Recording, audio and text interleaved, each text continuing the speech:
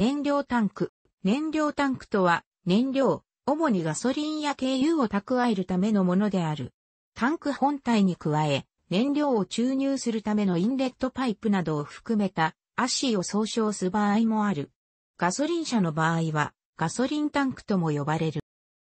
材質は、一般的に鋼板、または樹脂でガソリンや軽油などの危険物を蓄えるための対策が行われている。後半製タンクでは錆を防ぐメッキ後半が用いられ、隙間のできないシーム溶接で組み立てられ、外側には塗装が施されている。樹脂製タンクは貫通や破壊強度で後半製にやや劣る場合もあるが、錆の発生がなく軽量であるほか、サスペンション、駆動系、排気管とのクリアランスを最小限とする複雑な造形でも低コストで量産できるメリットがあるため、広く普及した。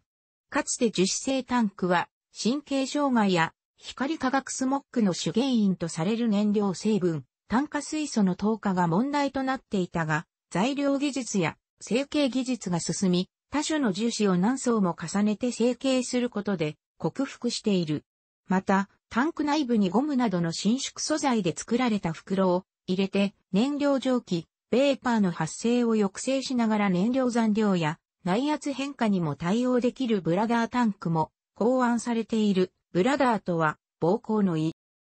一般的なフロントエンジンの乗用車ではエンジンの排熱による温度上昇や衝突による破損を避け、燃料の高による車体重心位置や車体の完成モーメントへの影響を少なくするため、リアシート近辺の床下で横長に搭載されている場合が多く、トランク床下や後席背後、車体中央に縦長に配置されたものもある。リアエンジン車やミッドシップエンジン車では、車両前方のホイールベース内に配置される例が多い。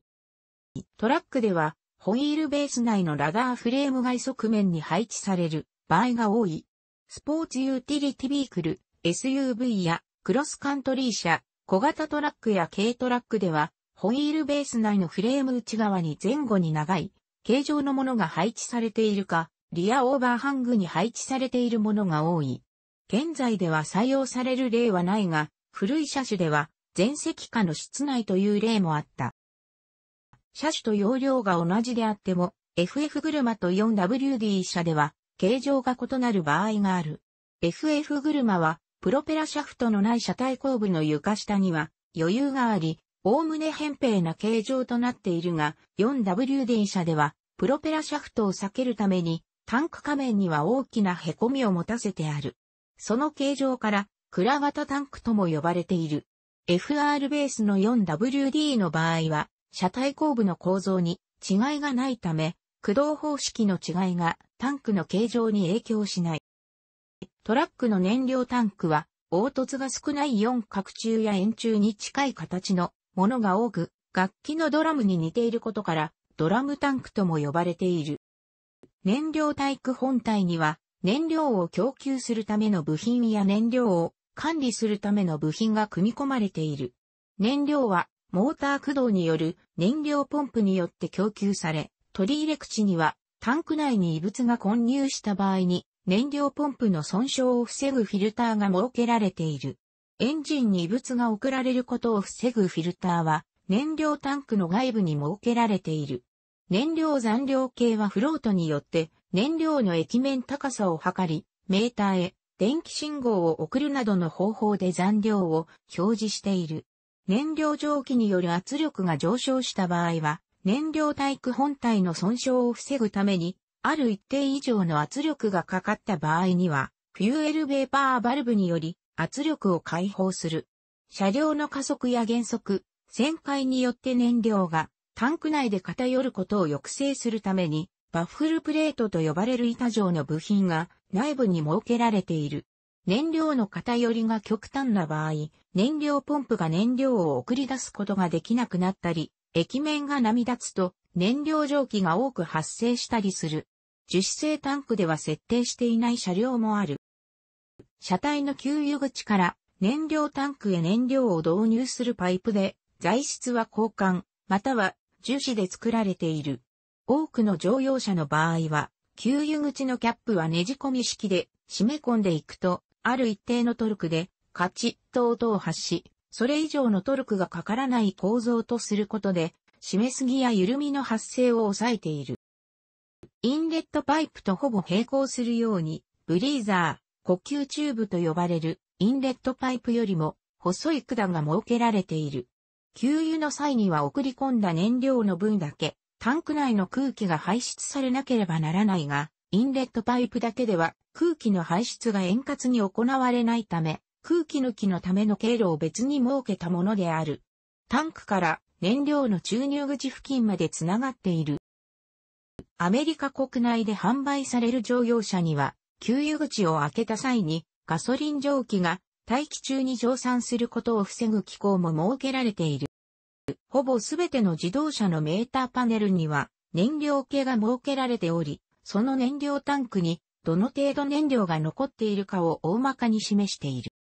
燃料計を示すマークとしては、古くからガソリンスタンドの図案化したマークが用いられている。近年の車両ではこのマークの近辺に三角形のマークが付加されていることが多い。この三角形はその車両の給油口の取り付けてある側を示していて、例えば右写真のように、給油機マークに右向きの三角形が付加されている場合は、車体右側面に給油口が設けられていることを示しており、レンタカーなどでドライバーが初めてその車両を運転する場合でも、ガソリンスタンドでの給油に戸惑わない工夫が施されている。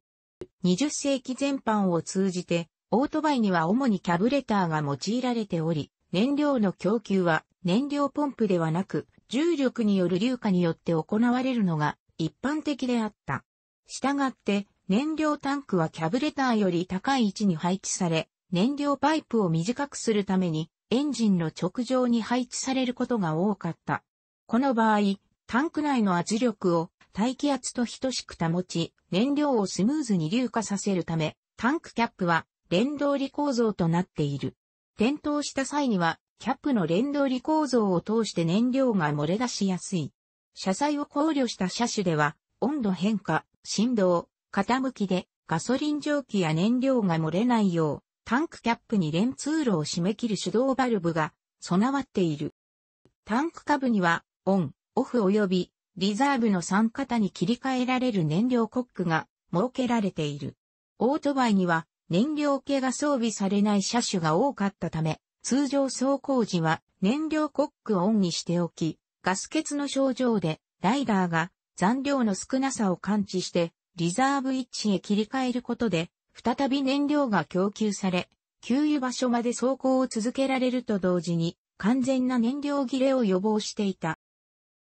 スクーターの場合はキャブレターを用いていても機械式低圧ポンプによる燃料供給を行い、燃料タンクをメットインスペースの下などの比較的低い位置に配置した車種も多かった。